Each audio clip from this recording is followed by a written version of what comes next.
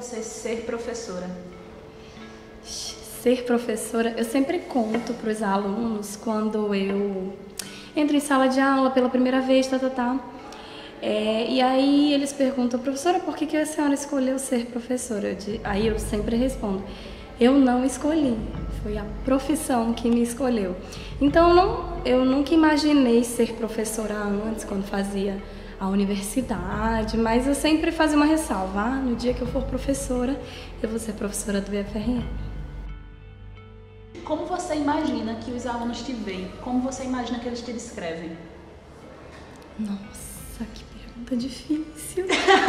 eles me descrevem como ah, eu acho que também, além de professora de tirar dúvidas, aquela pessoa sábia, né? Que eles dizem, ah, professora, a senhora é muito inteligente, mas como uma amiga também. Porque quando a gente é professor, não é só professor em sala de aula.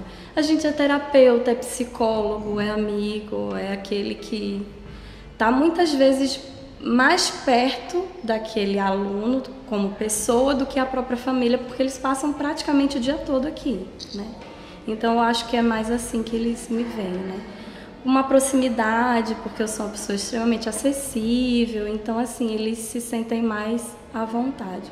Eu acho que eu sou aquela professora amiga que ri, que brinca, que chora.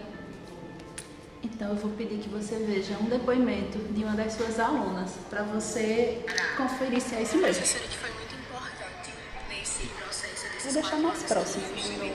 No FRN foi a professora Cristina é, desde que nós começamos a conviver. É alguém que se parece muito comigo, a personalidade, nós parecemos um pouco, e foi uma identificação imediata. Ela ficou comigo desde o segundo ano e é alguém que eu trago para minha vida como uma grande amiga que eu ganhei aqui no IFRN, porque foi alguém que é, pude partilhar muitas coisas da minha vida, coisas acadêmicas e coisas pessoais mesmo, e é alguém que eu trago um imenso carinho e amo de coração, de verdade.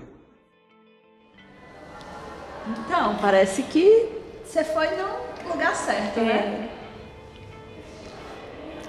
E aí? Nossa, difícil, não esperava ouvir que essas coisas assim, porque na verdade são tantos alunos que passam, né, pela nossa vida aqui acadêmica. E que bom que tem esse Assim, eu tenho essa resposta. Realmente, Denise é uma, foi uma aluna, ela terminou o quarto ano no ano passado. É, e ela é uma aluna especial com vários outros, né? Tive alguns a gente tem uma afinidade maior, uma proximidade maior, como ela.